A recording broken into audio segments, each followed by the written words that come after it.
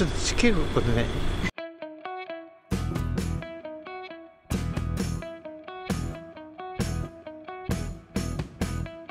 はい、カバス TV 行事です。いつもご視聴たくさんのコメントアドバイス本当にありがとうございます。今日は九十公民館でございます。ちょうどそこ頭で隠れちゅうよ。カメラマンよろしくお願いします。はい。はい。ちょっとオープニングを撮りまして、あともう5分で開演になりますので、はい、今日はですね、あの公演の講師ということでお招きいただきましたので、ちょっと偉そうなことを言いたいと思います。よろしくお願いいたします。はいお願いします。はい行きましょう。はい。を図ることを趣旨としております。今回九十公民館では情報発信による地域活性化ということでこの事業を柱として九十地域で抱えるいろんな問題があります。問題やえこれに対する課題の解決策を考えるということで実施をしました。え今回ですね講師としてお招きしたのは小形町の長谷川地区の方で株式会社貨物カンパニーを立ち上げておられます深田さんと渡辺さんです。え皆さん方の中でですねカボス TV の YouTube 見られた方おられますか？あ結構 おられますね。はい。あのもう見られた方はですねよく分かってると思いますけどまあ、なぜですね私があのお二人にお声がけをしようかなと思ったことを話そうかと思ったんですけど非常に長くなりますのでここは割愛させていただいてですね、えー、早速講演に入っていただきたいと思います。それではあの深田社長それから渡辺、えー、コンサルティングマネージャーさんよろしくお願いします。はい皆さんこんばんは、えー、私カモスカンパニーの深田と申します。どうぞよろしくお願いします。本日は令和5年度地域地域力を高める公民館活性化モデル事業情報発信による地域活性化ということで講師お招きいただきまして誠にありがとうございます。ありがとうございます。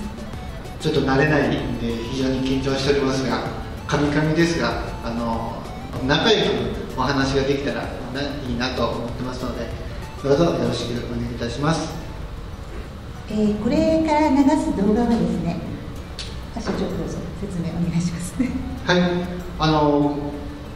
カボスカンパニーの自己紹介をあのさせていただきます。この動画はですねあの大分県にヒーローご当地ヒーローがいるのを知ってますパワーシティ大分っていうあの知らない方もいると思うんですけどまあそのヒーロー戦隊がですね今年20年になるんです。でちょっと歴史もあるんですけどえー、その20年の記念公演の時に、まあ、私たちが協賛いたしましてでその協賛をした時に、まあ、あの株式カンパニーはこんな会社ですという動画を作っていただいて、まあ、その時のこう動画なんですけどカボスカンパニーの自己紹介動画としてちょっと流させていただきます。YouTube チャンネルのカボス TV と豊玉散歩の素晴らしいところを紹介してくれ。はい喜んでカボス TV 豊玉散歩。はいということであの我々カボスカンパニーというのはあの農産物カボスを生産と販売をしてるんですけど、まあ、その他に YouTube 配信もやってまして。私はずっと若い頃から田舎と都市部の格差についてずっと疑問を持っておりました。田舎でも可能なことを取り組みたいと思っていて30代の時にあの放課後児童クラブを保護者と仲間と一緒に立ち上げた経緯があります。今私自身はあのダイエットアカデミーという、まあ、あの健康的にならから健康な体になっていくということを教える講師とあと野菜ソムリエの食育活動それと、移動カフェの車なども所有しております。はい次にあのカボス TV の毎日ということでまあ、どんなことをやってるんでしょうというところなんですけど、まあ、午前中は農作業。もう今の時期は農作業といっても毎日草刈りなんですけど、まあ、草刈りと、えーまあ、カボスのお手入れ。午後から、えー、編集と。大体4時間ぐらい編集にかかってます。あとですね YouTube の収益ってどれぐらいか見て分かります？大体これぐらいだっていうの分かる人います？もう全然わからんとしています？え。ー、あほぼほぼですよね。はいそうですね。あの YouTube の収益っていうのは、えー、動画が再生されてそこに YouTube 内に企業のコマーシャルが入ります。こそのコマーシャル料です。これあの Google から支払われますということで、まあ、登録者が多いから、えー、収益が多いっていうわけでもなくて再生回数再生時間でかなり変わってきます今は非常に YouTube って厳しいっていうふうに言われてますけどあの非常に今厳しいです。収益がなかなか上がらない YouTube の収益はまあね、あの月によってだいぶばらつきがあるんですけど年収で言います。年収500万と思う人。500万500万じゃあよえ400万と思う人お刻むね刻むじゃあ1000万と思う人おおなるほどお多いですか少ないですか感触的に多い多い多いですよね YouTube 投稿するだけでいいと思いますよ。では次行きましょう。えーとまあ、カボスご存知ですかっていうことでまあこれは知ってると思うんですけど、まあ、一応ご説明しておきます、まあ、8月お盆過ぎから10月ぐらいまでが緑のカボスになります。それ以降はえー、カボスが売れて黄色くなって11月から12月これが黄色カボスです。両方販売しております。緑カボス黄色カボス。どうしても、え、大分県では緑カボスをメインにして販売しますので黄色カボスを出すとカボスじゃないっていう全国的に言われてるんですけどこれもしっかり YouTube で配信して、完熟するとすごく味がまろやかになって鍋鍋とかでいいですよっていうところで黄色かぼすも販売しております。黄色かぼすは非常に今人気です。まず田舎に帰った時にどうやって生きるんだって思ったんですよね。まずは勤め先がない。じゃあ農業をしようか。って思った時にお米を作っても収量が取れない、えー、鹿イノシシに食われて収量が上がらない。あとまあかぼすを売るにもコンテナ1杯20キロですけど1杯だって1000円しかならないと。だから従来型の農業ではちょっと無理やなっていうのはちょっと肌での帰って何する？って言ったらうんちょっとカボス農家やろうかなって言った時に、えー、今更カボスやってどうするんって。あのカボスなんか儲からんよって。案の定コンテナ1杯1000円ぐらいだったんでそれは儲からないですよね。自分たち世代の役割を考える。これが非常に自分難しいと思ってて今もちょっと考え中なんですけど、えー、今回のテーマでもあるんですけどそういうことも考えてます。であと YouTuber としての地域貢献っていうことに対してはこれま自分より、まあ、渡辺の方からお話しさせていただいた方がいいと思うのでぜひ。そうですね。ここまでは深田が、まあ、自分が帰ってきてどういうことを思ってどういうことをしたかというお話になってるんですけど私は U ターンである深田を受け入れる立場の人間として、まあ、ずっとその土地にいる人間としてですねどういうふうに、まあ、彼のことを理解していったかということを少しお話ししたいと思います。まあ、ここにも書いてますけどもですねあの実はあの深田が帰ってきてから3年間同じ校区でありながら先輩後輩でありながらあの知らなかったんです。帰ってきたことを直接。まあ私は知ってましたあそうなんですね、はい、でそしたら、まあ、あの近所のおばちゃんと私が一緒にあのカフェでお仕事をしておりましてでその時にあのなんかなゆうちゃんがな YouTube でからな稼ぎよんでっていう話をしてきたんですね。で私 YouTube 全く見なかったので興味もないしで見てみようかって見たらたかが草刈り動画だったんですよ。であんなんで稼げるんっていう話で大笑いをしたことを覚えています。だってみんな草刈り 皆さんもそうでしょ？皆さん草刈りですよね。皆さんがそうしてることで、はい、それをなんでそれで儲けるんだっていうことが本当にクエスチョンだったんですね。あの YouTube の草刈りがもともと草刈りばっかりしてたんじゃなくてあの田舎に帰って荒れ地をこう整備しようとしたら永遠と草刈りなんですよ。ほんでそれを撮ってたらなんか草刈りばっかりの動画になっちゃってでもバズってしまったよね。そうなんですよね。当時草刈りする YouTuber さんってあまあまりいなかったんですけど何かしらヒットしたんでしょうね。そうみたいですね、でそれで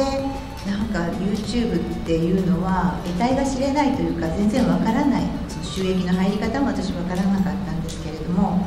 でままあ最初の第一段階そんな感じだったんですね。近所に住むはっちゃんというおばちゃんからまた聞きでなんかゆうちゃんがなって聞くだけでへえぐらいの話だったんですけども私原尻の滝にインフォメーションセンターっていうのをちょっとあのコロナ前作ってたんですけどそこで毎週土日に、まあ、座っていて外から来た方たちにご案内をする仕事もしてたんですね。そした時ある日ですねちょうどもうカボスのシーズンだったんですけども福岡北九州の方からですねある一人の男性が「あのすいませんボス TV さんのカボスってどこで買えますか?」って聞かれたんですで道の駅の原尻の滝の直売所愛妻家にもいっぱいも並んでるので「ああかぼすですか?」って「かぼすだったらそこにありますよ」って言ったら「いやかぼす TV さんのかぼすが欲しいんです」って言われたんですねでえー、ってそんなわざわざって思ったんですけど私連絡先も知らないんですその時はそれでその一緒に働いてるはっちゃんに「ゆうちゃんの連絡先わかるかな?」えー、あのなんかゆうちゃんのかぼすがいると？全く同じことを彼女も言いました「道の駅にあるじゃねえななんなんや」とか言ったんですけどそしたら、えーまあ、深田とつながったんですよね。連絡があってつながったんですね。そうですね。で私のかぼすっていうのはあのきっちりストーリーをつけててあの朝撮ったものをお渡しする送るっていうストーリーをつけてるんでこの方取りに来たんですけどまだかぼすがないんですよ。でいや今から取りますけど何キロですかって2キロですって。2キロ2キロですよ、買いに来たって驚かれた。で2時間待ちましたその人。お届けするまで私その時ですね自分は観光案内とかをしていましてやっぱ来た方にいかに満足していただけるか来た方にいかに地域を知っていただくかっていうことを一生懸命考えていたんですけれどももちろん来た方を大切にするのももちろんなんですが来る前に情報を渡すということによってこのようなことが起きるわけですね。カボスさんに会いたいカボスさんのカボスが欲しいということで目的地が尾形町になるそれを考えた時に私は違った意味でこれは深田は観光に役立つって思ったんですね。あの言い方変ですけどいや私の中であこれは違った切り口で PR することができるんじゃないかというふうに関心を持ったのがこの出来事でしたでそれからですね一緒に、まああのまあ、同じ同郷でもあるしどんどんどんどん廃れていく、まあ、米山地区でもあるので、まあ、一緒に何かやりたいよねっていうところは共通項であったんですけれどもあの本当動画配信をして深田がメッセージを送ることによって地域外の方々が限界集落に関心を持っていらっしゃるんですね。なんか応援とか共感のコメントが入ってかそれとかあの本当そのコメントを見ることでまたその他の方たちコメントって公開されてますので他の方たちも見ることができるんです。すると同じ地区の人たちもコメントを読んだりするわけです。するとやっぱり「あこんなこと会長こうやって応援してくれちょる」っていうのがもう直に伝わってくるわけですね。そうなるとねもうおばちゃんたちまで80代のおばちゃんたちまでがねスマホ広げて、あの動画を見るようになってしまっているんですね今。そうなんです。ねもう最初はみんな何章の間変わり者ぐらいだったけどね。最初はね本当撮影するでしょ。田舎で。だからそんな人見たことないでしょ。何しよんのかやつ。線香線で「はい草きれ。い」っつって「はい帰って親の面倒見られんか」っつって。仕事せんかとかそう相当言われてました。そうですよね草こうやって切りよんのにここからカメラで写しよう人なんかおらんのかな。まあそんな日々でしたね。そうですね。当時はね、うん、いやその時にあの深田の言った言葉ですごく忘れられないのが私はちょっともうそんな草刈り動画なんて言って少しこうちょっと見下げてるような気分がちょっとあったんですね。そしたらこう言ったんですよ。純子さん草刈り動画の賞って普通は草刈りって一生懸命もう当たり前にせないけんことやけんただでするようになってでもなこれを流すことで自分の草刈り金になっちゃうのでって言ったんですよ。それ聞いた時にまたね私の中でそこか視点が違うんですね人と。視点の違う人が田舎に帰ってくるっていうのはこれ本当に貴重でやっぱ最初私も同じように何しようのかっていう人たちときっと一緒だったと思うその彼のあまりにも視点の違いにやっぱりそこを切り込んでいくとなるほど U ターンしてきた人ならではの見方があるということなんですね。だからやっぱり地元としてみれば変化をすごく恐れるというか来た人はすごく珍しいし仲良くしたいとは思うんだけど今まで自分たちがやってきたことをひっくり返されるのが怖いという気持ちもあるんですよ。ずっとやってきてることの方が楽だし責任がそこにないから。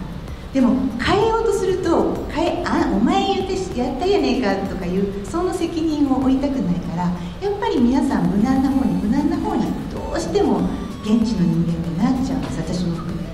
そこにやっぱりこういったタイプの人が来たことは本当に限界集落では大きな転換期を迎えたかなという農業って作物植えて育ってで売って初めてお金になるんです。売るまでお金にならないんです。けども作業動画を撮って YouTube で流すとそれがお金になります。そうやって収益を上げればカボスっていうのは侵食して5年間はこう収穫できないっていうかありますので5年間空白の時間ができるんですね。でその中でそういう YouTube を使った収益を上げればいいんじゃないかと。ところがあってびっくりされてました。さあもう本当に度肝を抜かれました。でやっぱりそれからまたびっくりしたことがあの長谷川に人が訪ねてくるようになるわけですね。でそのまあ深手の戦略でもあったんですけども動画当初からあの地域の人たちに、まあ、ちゃん付けでキャラクター化してました。登場人物ですね、まあ、金ちゃんとかねはっちゃんとか地元のおじちゃんおばちゃんにちゃんと名前、まあ、もちろんもともとの名前なんですけどね。あとはあの法医振興局のカボスのことを教えてくれる先生のことをねキュートな先生とかそれとか和牛のあの牛担当の方ねあの牛を使ってあの里山の改善をしようという、まあ、動画があるんですけどその時にレンタカーシステムを取り入れたんですね県。その時の担当の方に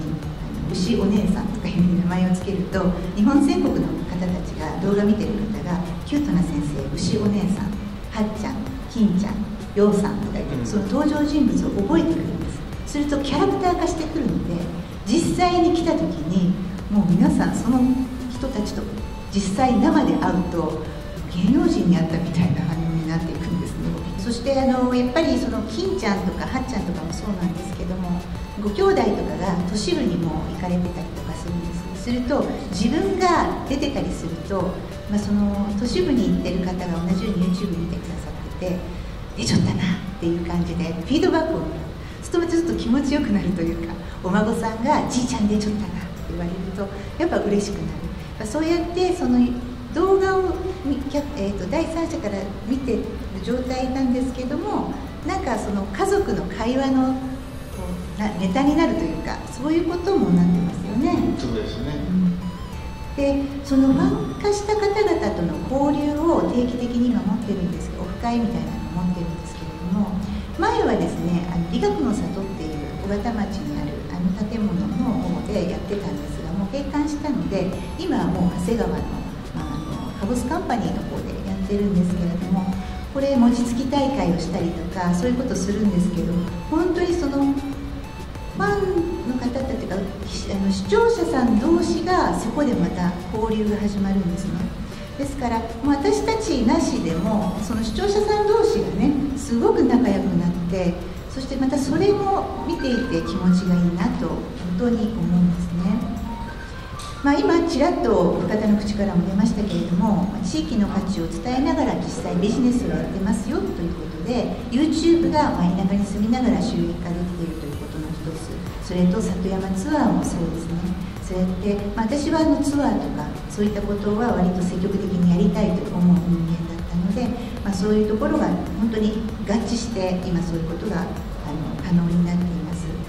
それとかあの可能性とか魅力のフィードバックを視聴者さんから直接いただけてるのもすごいですよね。これ一番大事なことでフィードバックただでフィードバックが返ってくるってコメントでねあ当然アンチコメントもたくさんありますけどあの私が見てあののチャンネルは良い方が多いので大変いいご指導だとかあのコメントもいただいてますので、まあ、普通の企業ならアンケートを取ったりとかお金払ってでもフィードバック欲しい情報をただでもらえるというこれは非常にいいと思います。そうですね、えー、私の場合私は豊玉散歩という動画なんですけれどもまああの方はテーマが限界集落ですが私はどっちかというと地域情報とか食文化とかそういうことをまあ出しているものなのでお互いに連動しながらやっぱりこの動画を通じて新しいこうビジネスの展開が始まりだしましたねこの年度から、まあ、今日こうやってあのお招きいただいている講師としての活動もまっておりますしまたあの企業案件っていうのもだいぶ拡大してきましたね。企業案件ですよ皆さん分かります？分かる人います？ああ少ないですよね。企業案件そういうの企業案件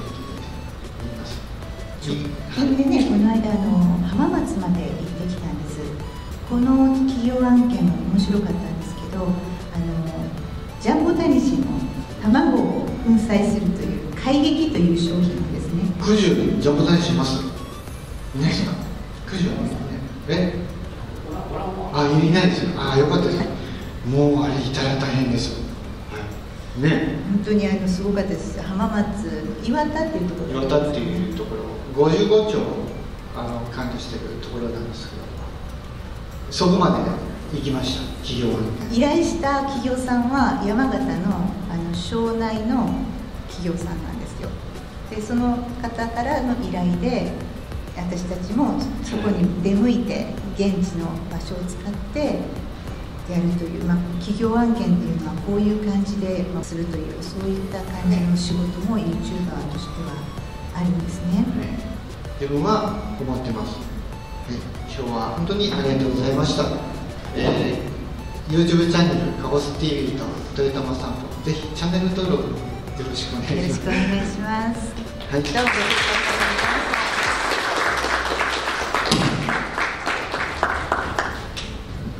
えー、ありがとうございました。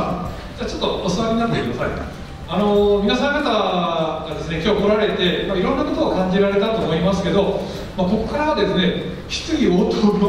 の時間に持っていきたいというふうに思っていると思うんですが、え皆さん方なんかいろいろ質問があったらこの場で質問をしていただければと思いますもうざっくばらんにお話ししていただければと思いますのでお願いします何でもお答えします、はい、いや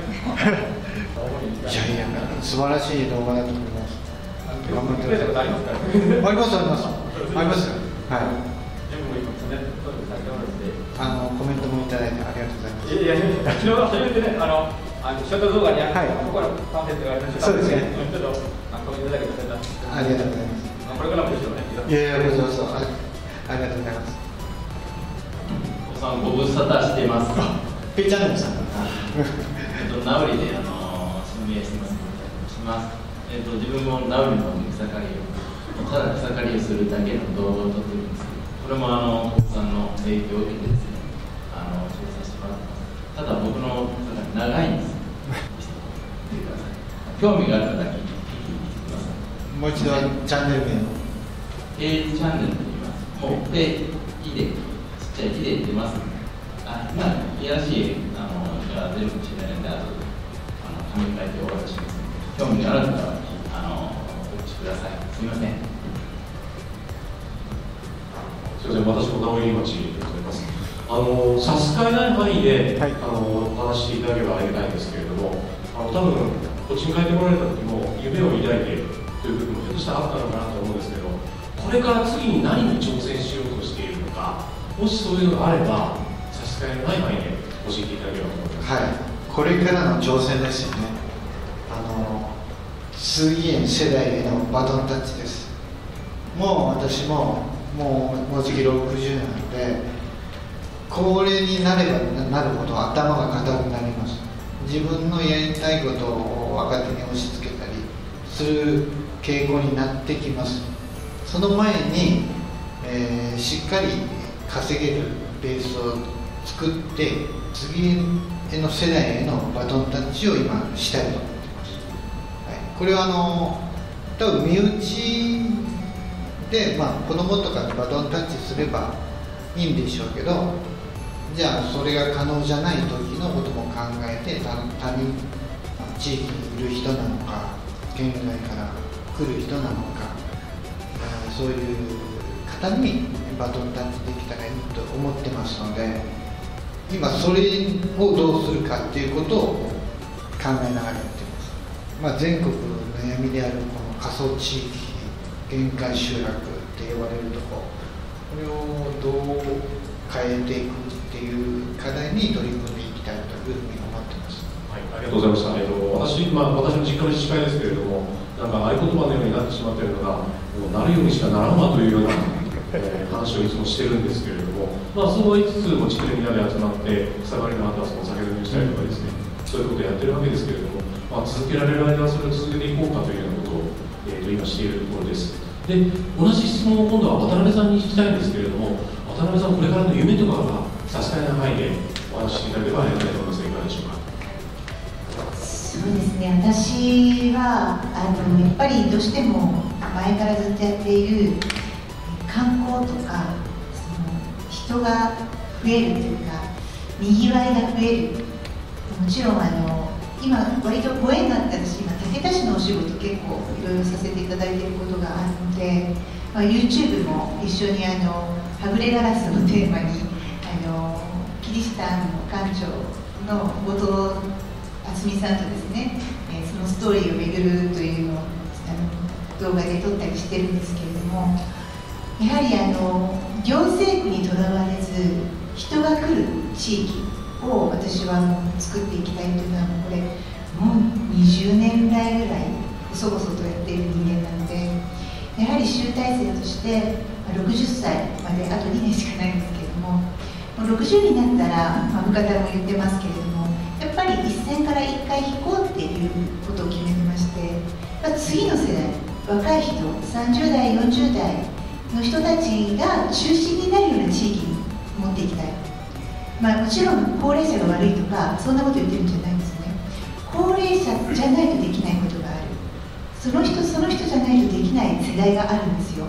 でもやっぱり町おこし地域づくり交流を増やすパワーっていうのは30代40代が SNS とかを使ってやるパワーって底知れないと私は思ってるんですよ。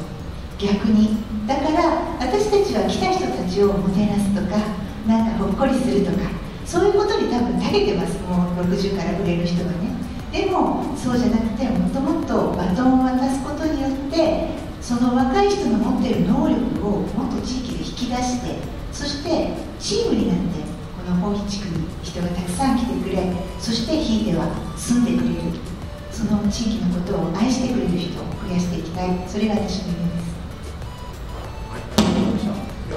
りがとうございました。大変参考になりました。あのやっぱりどうしても田舎に住んでると、あのそこの地盤の人といいますか、あのまあ、例えばそこに生まれたとか、親がそこの出身であるとか、そういったことでやっぱどうしてもその人の差があると見える形なんですけれども、今お話を聞いてみると、えー、やっぱりそのそういったことにとらわれずに、まあ、例えば全然よその地域から来る人たちを受け入れて、えー、その地域に根付いてもらうとか、そういった努力もこれからあの必要になってくるんだろうな。あの我々の世代が、まあ、そういったところをまず先にその理解することも必要なのかなというふうに感じました。ありがとうございました、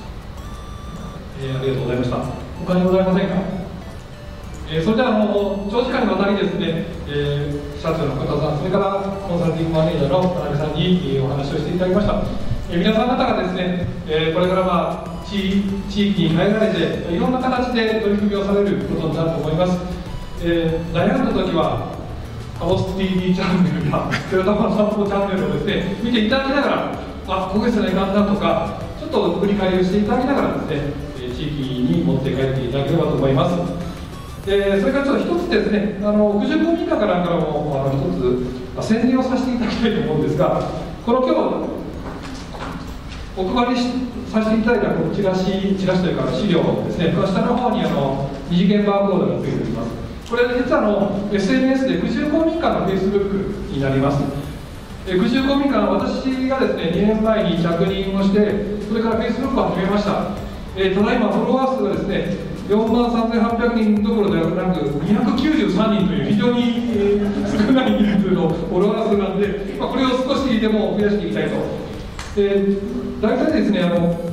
毎日ほぼ毎日のようにのアップしてるんですがいいねが10人ぐらいしかつきません。ただあのリーチは100人から200人ぐらいの方が見てくれてます。でこの、えー、モデル G がやりますって言ったらあの純子さんとかがですねあのシェアしてくれたら780とかですねバーッと増えたんですね。皆さん方にも、まあ、ちょっと見ていただけるとこちらも嬉しいなというふうに思いますので、まあ、ぜひご協力お願いしたいと思います。でそれではあの少し遅く遅い時間になりましたが、あの岡田さん、それから田中さん、大変ありがとうございました。皆さん、大きな拍手をお願いします。